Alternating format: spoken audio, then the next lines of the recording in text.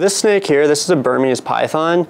It's one of the largest snakes in the world when they're fully grown. This is actually a juvenile here. It's about two and a half, three years old. So it's still considered a very small snake for its size. They can grow up to 20 feet long in the wild when they're fully grown. They are able to have drastic remodeling of their heart or changes in their heart and their metabolic organs, such as their liver, when they consume a meal. I do many different experiments depending on what needs to be done for the next step of what we're trying to discover.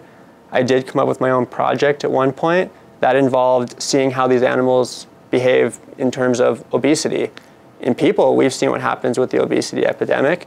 In these snakes, that project came out to show that they just grow really fast. They don't actually really become obese or they don't really have negative side effects. I do want to go into graduate school, that I do want to get a PhD.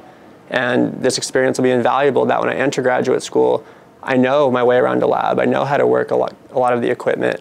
I know how good experimental design is done, things that you would do and not do to have good experiments as well as how to interact with your peers. Working in a lab, depending on the lab you're in, can be a very collaborative effort. A lot of these projects can get very complicated, and each person is divvied up to have one small aspect of it.